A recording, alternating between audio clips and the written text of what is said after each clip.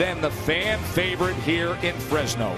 Jose Ramirez retains the WBC Junior Welterweight World Championship with a majority decision win against a feisty and game Jose Zepeda. For everybody on the crew, I'm Joe Tessitore saying goodnight here from Fresno.